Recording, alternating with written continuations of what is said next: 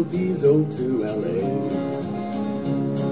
And riding by Mobile, his darling wife Camille, she'd kiss him in his driveway and she'd say, she'd say, Don't go to sleep on the road, baby. Don't go to sleep on the road.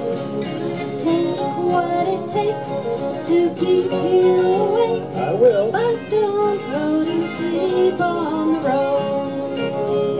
Then Camille started singing country music for a fling. Yeah. Well, you know a girl can't stay too long alone. First for friends and then in bars, and she soon became a star. And sometime he heard her record as he drove, singing, Don't "Don't go to sleep on the road, baby. Don't go to sleep on the road. I'll be careful, dear. Take what it takes to keep you awake, I will." but don't go to sleep on the road. Yes, and her record started moving up the chart. Soon they became number one. And she got Entertainer of the Year. And she got her hair done. And she got a boob job. She got an affair with the bass player. And he got hemorrhoids.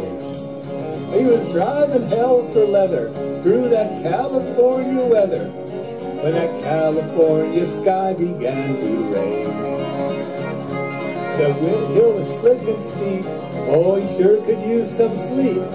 But his darling's words kept ringing through his brain.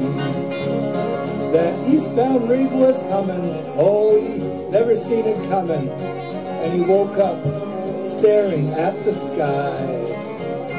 Through the wreck and through the rain. With the radio still playing. And the last words that he heard before he died was Camille still singing. Don't go to sleep on the road. What a way to die. Don't go to sleep Oh on my goodness.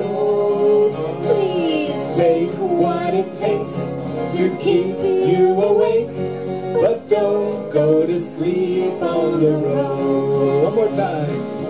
Don't, Don't go to sleep on the road, baby. Don't go to sleep on the road. Tears in his eyes. Please Take what it takes to keep you awake, but don't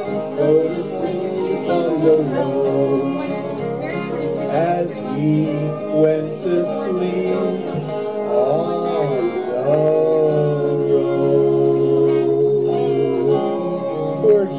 Henry and Camille. Thank you very much, Ruth. Thank you.